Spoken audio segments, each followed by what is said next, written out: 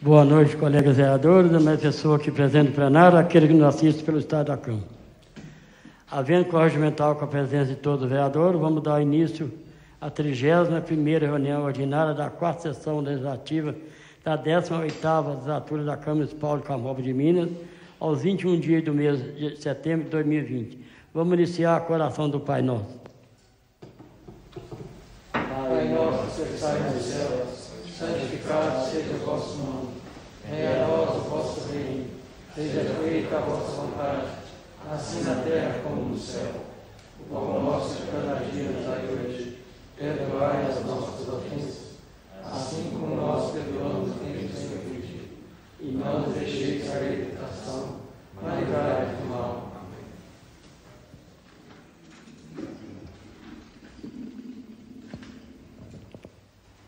Coloco em discussão votação da sessão ordinária do dia 14 de novembro de 2020.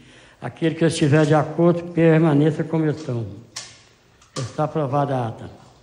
Peço ao secretário que faça a leitura correspondente do requerimento número 60 ao 64 do projeto de lei 23 e 24 de 2020.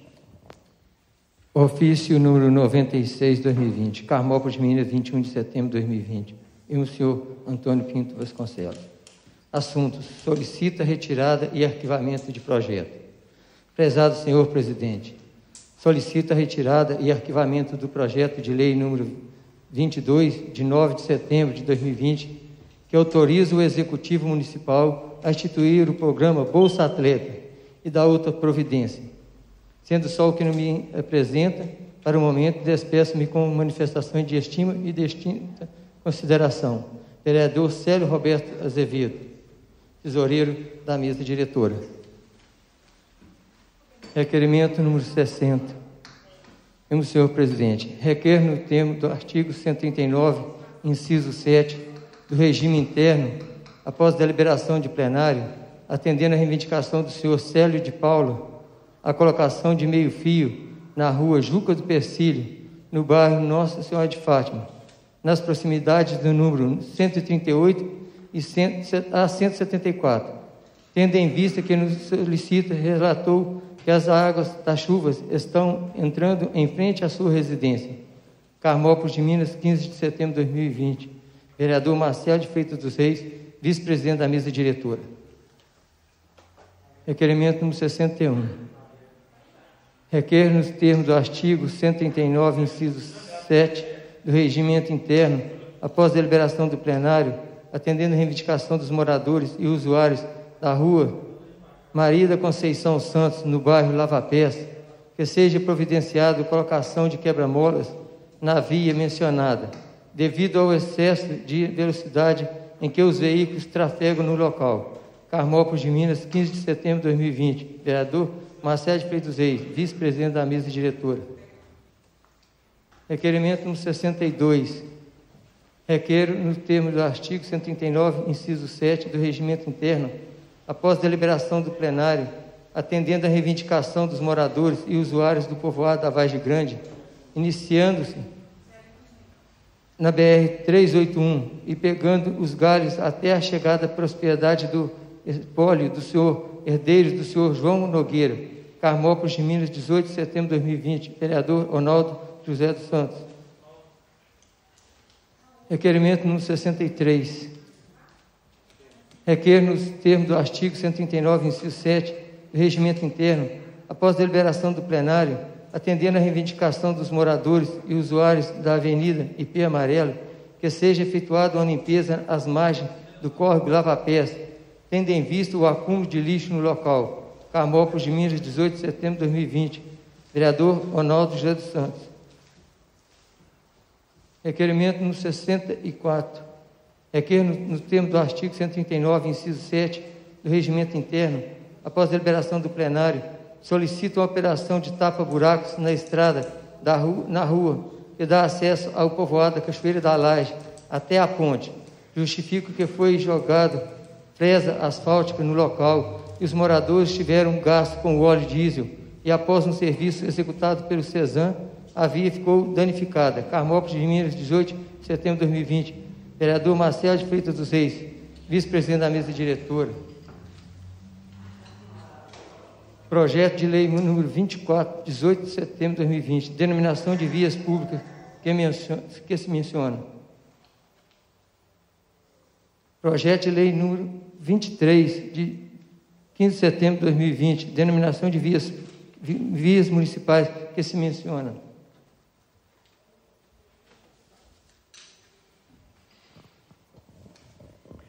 Peço ao secretário que me passe a relação dos vereadores inscritos que irão se manifestar sobre o requerimento. A palavra será dada aos vereadores inscritos por cinco minutos para falar sobre o requerimento em pauta.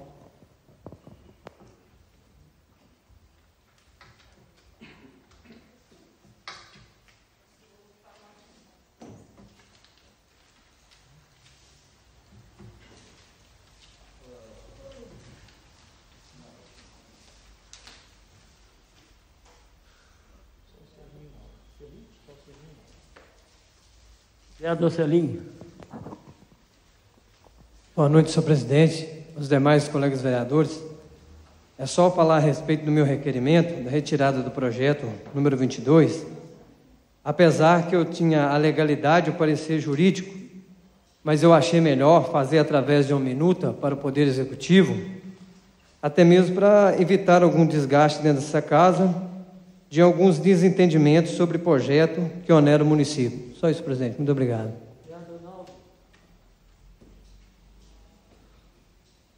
Boa noite, senhor presidente, nobres colegas vereadores. É, só para reforçar essa indicação da IP amarelo, é que lá está muito entulho de material de construção, é, PET, né, sacolinha de lixo. O pessoal vem da, da zona rural, do sítio, e joga lá na beirada. Muito entulho lá. Eu nunca vi assim tanto material jogado lá. E eu acho que por isso o pessoal está colocando fogo também na margem do córrego. Então, se fizesse uma limpeza boa ali, eu acho que inibia um pouco a jogação de lixo. Quando está limpo, às vezes, de dar uma roçada também no capim que está alterando o córrego, eu acho que dificultaria mais. O pessoal fica mais temeroso, né? E também quero também na oportunidade de pedir o Cezan colocar umas placas lá para nós, vindo jogar lixo lá naquela, naquela via lá uma via importante, muito trânsito e muita gente fazendo caminhada. Eu acho que merece uma limpeza boa ali naquele local ali. Muito obrigado, senhor presidente. O vereador Lucas, você que é o líder do governo, se você levar.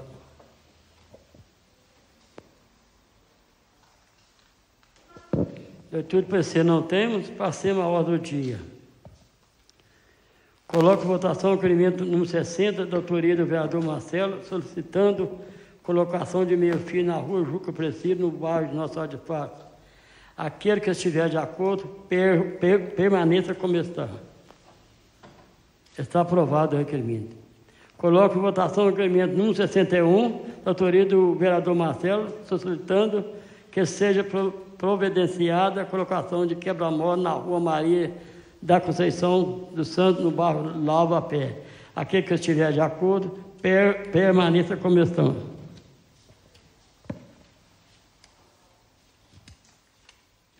Está aprovado o requerimento. Coloco votação o requerimento número 62, da autoria do vereador Naldo, solicitando patrulhamento na estrada de acesso ao povoado da Vale Grande, iniciando na BR-381, pegando os galhos até chegar na propriedade do pólio do herdeiro do senhor João Nogueira. Aqui que estiver de acordo, permaneça como estão. Está aprovado o requerimento. Coloque em votação o requerimento 63, da autoria do vereador Naldo, solicitando uma limpeza à margem do córrego Lava Pé, na, na Avenida em Pé Amarelo. Aquele que estiver de acordo, permaneça como estão. Está aprovado o requerimento. Coloco votação o requerimento 64 da autoria do vereador Marcelo, solicitando uma operação tapa-buraco na estrada da rua acesso ao povoado Cachoeira da Laje, até a ponte. Aquele que estiver de acordo, permaneça como estão. Está aprovado o requerimento. A palavra será dada ao vereador que citar pelo prazo de 10 minutos para tratar de assunto de interesse público. Passa a palavra para o vereador Celinho. Boa noite, senhor presidente, os demais colegas vereadores e todos acompanham pelas redes sociais. Hoje eu estou encaminhando para o Poder Executivo a minuta de um projeto, um projeto de lei de número 22, autoriza o Poder Executivo a instituir o programa Bolsa Teta e da outras providências. Como já mencionei nessa casa, é, os nossos atletas hoje de Carmópolis de Minas, independente do futebol ou que seja de corrida, de luta, qual seja a sua categoria, tem sempre um sonho de virar um atleta profissional. E muitas das vezes ele é barrado na questão financeira. Então eu estou encaminhando essa minuta desse projeto para que o prefeito e a sua equipe possam analisar a possibilidade de, no futuro oportuno, estar tá enviando essa casa um novo projeto de lei, talvez incrementado ou talvez até melhorado, para que dê oportunidade às crianças, aos jovens, independente da sua idade, que tenham o sonho de virar atleta no futuro e estar tá representando Carmópolis de Minas. Exemplo que nós temos em Carmópolis hoje, que faz belo trabalho, que é o Tupanuara, temos o Independente, temos o Cadu, que tem vários estilos de luta, o Natalino com a sua capoeira, temos o Ascor, que faz um belíssimo trabalho com os corredores de rua. Temos o Cezan também, que elaborou corridas de rua em Carmópolis de Minas. E eu sei da dificuldade de uma mãe, de um pai. E qual é o pai uma mãe que não tem o sonho de ver seu filho ou seu jovem virar um atleta no futuro? Então, esse é apenas um pontapé inicial. Esse projeto, é, depois, quem quiser interessar em procurar, pode estar até procurando a prefeitura ou essa casa mesmo. É só um pontapé inicial que eu estou dando aqui. Espero que no futuro, quem sabe, quem sabe eu posso estar aí vendo esse projeto ser aprovado por essa casa e fico muito feliz por poder contribuir com esse projeto no futuro. Muito obrigado, senhor presidente. Uma boa noite a todos. Eu passo a palavra ao vereador Antônio Gabriel, interesse público. Boa noite, senhor presidente. Boa noite aos colegas vereadores e a todos que nos acompanham pelo meio de comunicação da Câmara.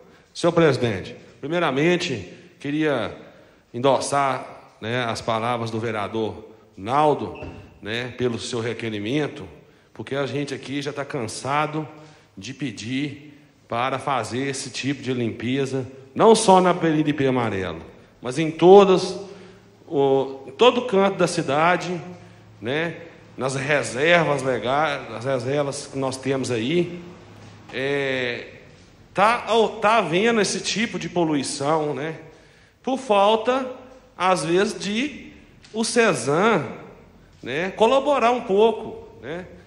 Tudo que a gente pede o CESAM aqui nessa casa aqui, eu, pelo menos, eu nunca fui atendido. Não lembro de, um, de algum ou outro vereador ser atendido, alguma reivindicação.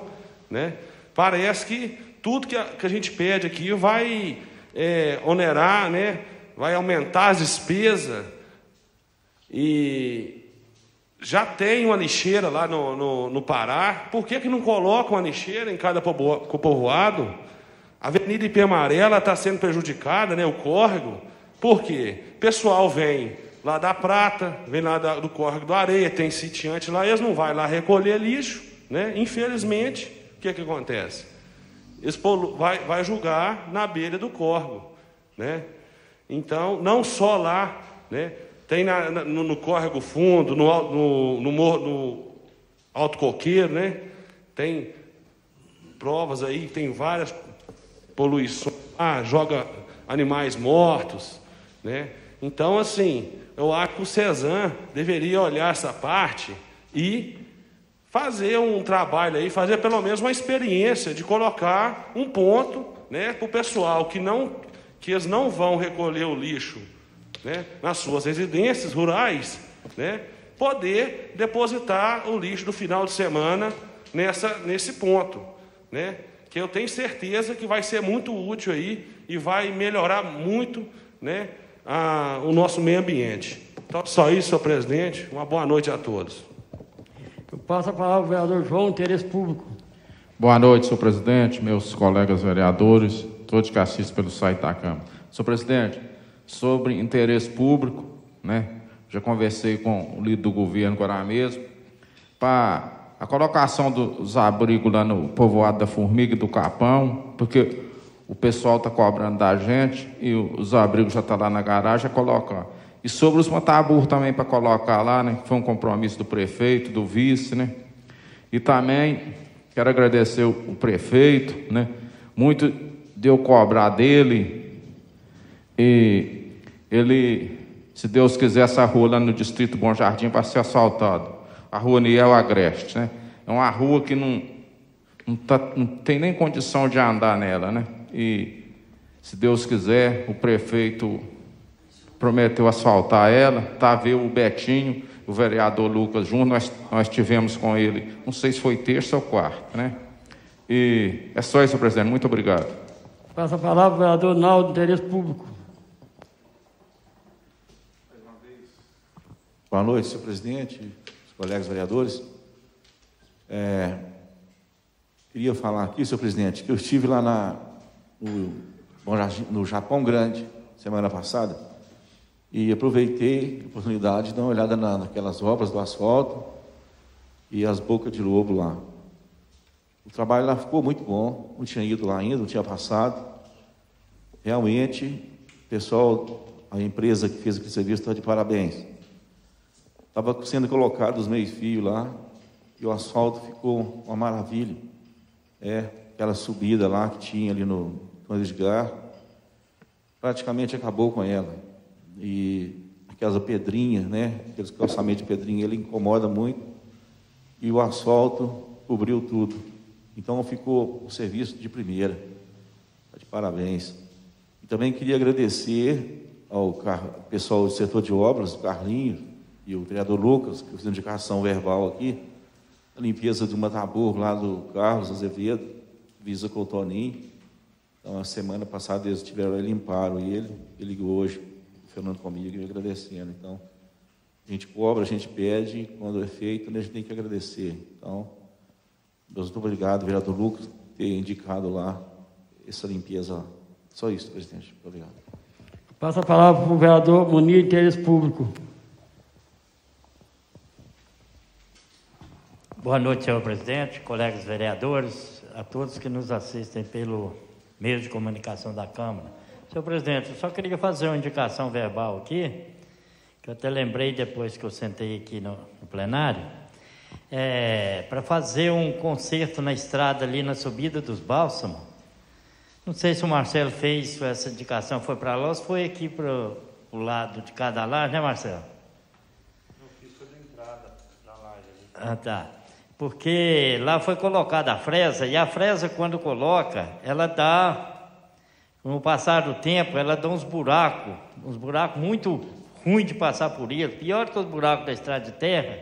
Então eu queria fazer esse pedido ao vereador Lucas, que é o líder do governo, que levasse isso para o prefeito, o secretário de obras, que amanhã eu vou ligar para ele também para pedir para ele, é, porque lá está intransitável. Sabe, o pessoal está reclamando muito ontem, que eu tive com o pessoal que transita naquela estrada lá, que está terrível. É só isso, senhor presidente. Uma boa noite a todos. Passa a palavra ao vereador Betinho, interesse público. Boa noite, senhor presidente. Boa noite aos colegas. Presidente, eu gostaria, uma coisa que já foi falada muito nessa casa, é sobre a, na rua Flor de Lins, a prefeitura fez uns recapeamentos do cata buraco e largou lá na Flor de Lins uns buracos. Essa semana o morador me procurou, reivindicando para a gente tornar a pedir para fazer. E lá na Avenida do Contorno, também no, no bairro Boa Vista, também, ficou uma parte, foi, fez uma parte, largou outra parte para trás. O pessoal pediu para a gente fizesse o requerimento, só que não dava prazo mais, e como nessa casa vários vereadores já tinham feito esse pedido, estou só fazendo verbalmente para a gente ver se a gente consegue, com o prefeito, fazer esse, esse tapa-buraco. Olha só, presidente, uma coisa que a gente está vendo, foi divulgado, que foi licitado, as torres de celular para o Japão Grande e para o Bicudo. Pessoal tem preocupado, assim, me procurado, e preocupado como vai ficar a situação dessa torre, se vai abranger todos os lugares. Que às vezes o pessoal pega do posicionamento do, do, da antena, pode ficar algum lugar sem pegar, fica com um ponto cego, né? Então o pessoal está preocupando muito. Falei que o cara, o pessoal tem um estudo que faz, né? E especialmente também o pessoal lá do Bicudinho. Eles me procurou, conversando comigo, ofereceu até o ponto de terreno lá, que se de repente a antena ficar na posição que tiver na posição que tiver no terreno deles, lá no Bicudinho, vai pegar o, lá no terreno do Bicudo. O pessoal do Bicudo, as casas do Bicudo, tudo ali. E se colocar no Bicudo, dependendo da posição da, da antena, o pessoal do Bicudinho vai ficar sem. E tem muitas casas ali no, no Bicudinho, né? Ali no, aqui próximo da Nevada também, aqui, ó. Então, assim, é, se ia atender da melhor maneira possível, atender mais moradores, né? Com essa, com essa, com essa benfeitoria que é a antena celular. Porque o pessoal aguarda muito ansioso por essa chegada, né? E se Deus quiser, por esse mês que vem, ó, o pessoal está vindo para instalar elas aí. É só isso. Muito obrigado, senhor presidente. Passa a palavra ao vereador Marcelo, interesse público. Senhor presidente, só para fazer uma complementação nessa fala, colega vereador Betim, com relação à, à antena do Japão Grande, e eu tive observando lá é, o local que me falaram que vai colocar antena é no terreno do senhor José Vaz.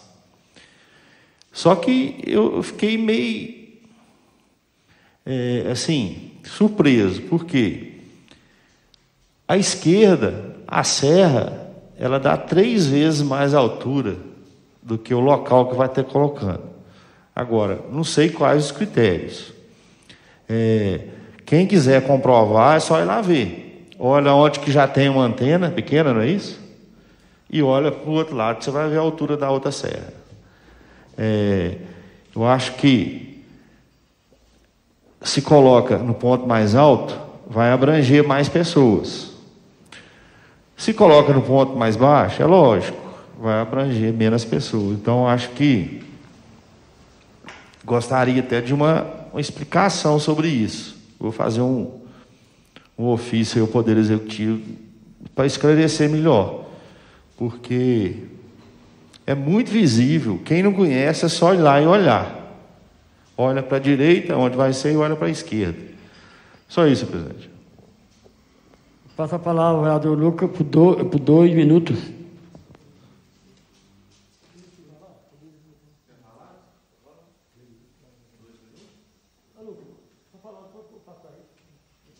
Presidente, boa noite, boa noite, novos colegas, pessoal que nos acompanha pelos meios de comunicação da casa. Senhor presidente, eh, eu também gostaria de falar a respeito do CESAM, primeiramente ressaltar que eu reconheço o grande serviço é, que essa autarquia presta é, para Carmópolis de Minas. Né? São é, trabalho, é um trabalho de excelência que essa autarquia faz é, em prol do município de Carmópolis de Minas e dos munícipes. É, só que sempre tem alguns questionamentos é, a ser feitos, alguns pontos a serem melhorados, igual foram falados aí por meus colegas que me antecederam, né? E eu também gostaria de reiterar aqui, é, até um ofício de vários colegas aqui que já fizeram, é a respeito da rua Bento Belisário, a rua que liga, a, a parte dela que liga a Praça Santo Antônio até ali próximo o posto Pato Chico. É, ali tem um calçamento muito bom, um calçamento de bloquete, muito bem assentado, que o Cezan precisou de é, mexer na rua para fazer um trabalho e, infelizmente, ele não deixou é, o calçamento no estado que ele encontrou antes. Os bloquetes, vários deles estão soltos. A gente passa de carro, está resbalando, né? o calçamento está afundando e tem vários bloquetes que estão saindo do lugar, deixando um, um relevo na rua que pode até causar um acidente com o carro ou com a pessoa. É, já reiterei esse pedido meu com o diretor de CESAM, já reiterei também com Didinho. A gente espera que seja atendido. É, vereador, a gente cobra, a gente pede, é, a gente espera ser atendido. E depois, se a gente faz uma crítica mais dura, a gente é criticado também. Então, a gente espera essa atenção aí da, da do CESAM para que possa é, refazer aquele calçamento e colocar o calçamento no mínimo da forma que ele encontrou, que os moradores da rua, os moradores do bairro Santo Antônio, esperam isso dessa autarquia que é muito importante para Carmel de Minas. Só isso, presidente. Muito obrigado. Vou passar a palavra ao líder do PSD, o vereador seu, dois, dois minutos. Senhor presidente, eu tenho direito de 12 minutos, 10 mais 2. Dois que dois, senhor presidente? Todos os vereadores têm direito a 10, eu tenho dois. Eu tenho direito só de dois? Eu fiz inscrição com o vereador com o Betinho. Passei para o Betinho que era a palavra. Tudo bem, eu falo os dois. Eu vou falar os dois minutos só, senhor presidente. É, só gostaria de reforçar aqui essa, nessa fala da antena do Japão Grande, porque no Distrito Borjardim foi desse jeito. O prefeito falou que a antena seria para atingir 6, 3 quilômetros em volta. Então, Gerais é 2 quilômetros do Borjardim, não pega. É o que está acontecendo com o Japão Grande. Pode acontecer com o Japão Grande não escolhe bem o lugar da antena, ficou um povoado encostado no jardim sem sinal o telefone. Então, está aí hoje, Bicudo ter antena, o Japão vai ter, o Jardim tem, que é merecedor, tudo grande, e Gerais sem sinal. Se um dia quiser ter sinal, vai ter que pedir uma antena só para Gerais. Não vai conseguir, povoado pequeno. Talvez se escolhe um lugar mais alto, pegava Bom Jardim e pegava Gerais. Então, Gerais não tem sinal, telefone. Tem da igreja para baixo. Mas lá dentro do povoado, onde que é o povoado, não tem. Então, que pelo menos que a outra que instalou ainda, que seja bem visto. É que passe essa experiência quando desceu lá no Distrito Jardim para não ficar é, lugar prejudicado. Já custa chegar o sinal, tipo no Borjardim, se você põe ela mais alta um pouquinho, o sinal do Borjardim era o mesmo e captava um povoado a mais. Então, é, faltou interesse, eu acho que da na hora aí, da, quem estava à frente da, da na administração, para estar tá olhando isso. Saber, na época do, pessoal lá, se ali alcançava o povoado gerais. Então, que me falaram que ia pegar. Por isso não falei nada. Então, que, olha bem. Só presidente, então, muito obrigado. Tinha mais coisa para falar, mas muito obrigado. Eu vou, eu, eu, eu, eu vou dar para o Betinho um, um minuto porque você não falou o nome dele, aí você queria defender, eu sou você que me dá aqui. Vereador de seus, se for o caso, mas eu não, não que eu olhei para o Serginho, olhei para o pessoal aqui, você não, quando eu te fiz sinal para você, a senhoria, eu, é, seria para me dar o, um minuto dos, dos minutos que o senhor, Vossa Excelência tem como líder. Mas eu não entendi, porque já tinha passado a inscrição. Tudo bem, obrigado. Foi engano, eu, eu, eu, eu, Vamos falar na próxima. Nada mais essa é a sessão convocando todos para a próxima reunião ordinária, dia 28 de janeiro, às 8 da hora. Uma boa noite a todos.